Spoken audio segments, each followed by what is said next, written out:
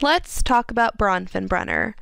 Urie Bronfenbrenner was a Russian American psychologist who's responsible for developing the ecological systems theory. This theory examines the impact of children's social environments on how they are developing.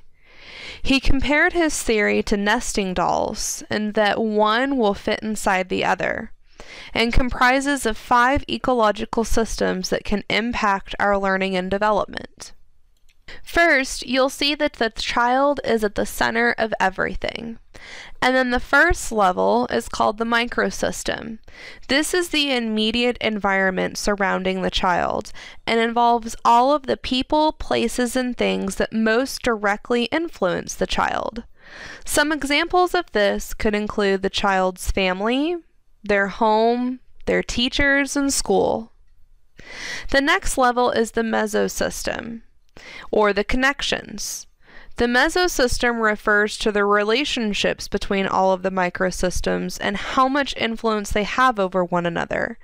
For example, if mom and dad are divorced but still have a positive parenting relationship where they work together to meet their child's needs, the child will feel the positive impacts from that.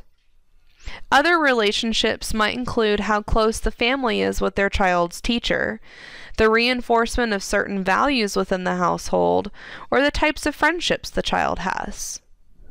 The third level is the exosystem. This refers to situations not directly involving the child, but where the child is still impacted. The example we use with the parents being divorced is a good example.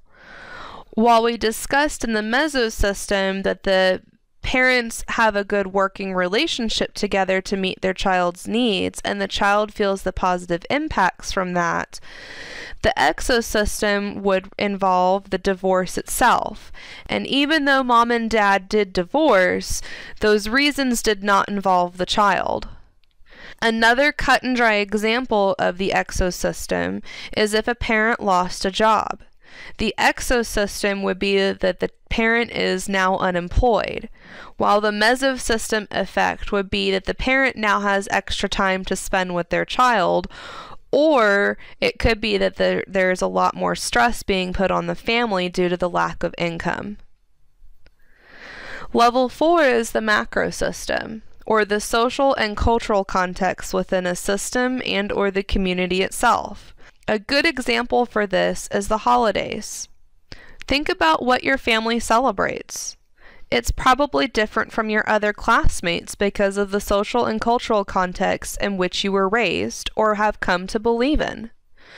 Going one step further, we could even say that Waco is a very different community to be raised in compared to Dallas or Austin. This has to do with the amount and different types of influences happening at this level. Finally, the chronosystem is how time can affect any of the levels and on any scale. Technology is a great example. Think about the technology you had growing up, and think about what is available to us now. Even in the short term, technology has greatly impacted how we connect with each other and the access that we have to different information. Overall, Bronfenbrenner theorized that there are many different contexts and types of relationships occurring that impact how we learn and develop.